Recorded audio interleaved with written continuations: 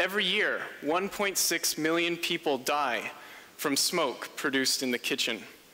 The SolSource, a clean cooking, heating, and electricity solution for 2.5 billion of the world's poorest people at a price they can all afford. It's also lightweight and portable, weighing only six kilograms and folding up like an umbrella. It can cook in five minutes, being high powered, and it's also durable, lasting up to 12 years.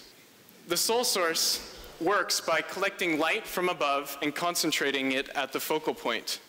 This reaches hundreds of degrees of temperature.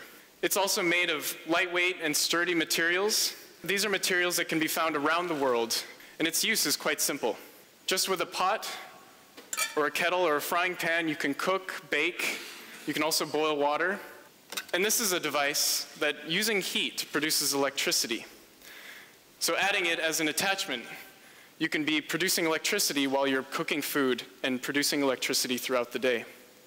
Even if just 2.5% of consumers in the emerging market were to purchase and use the SolSource, they would reduce their greenhouse gases by so much that all of Europe would become carbon neutral. Thank you.